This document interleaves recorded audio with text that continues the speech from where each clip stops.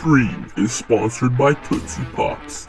How many licks does it take for you to get to the center?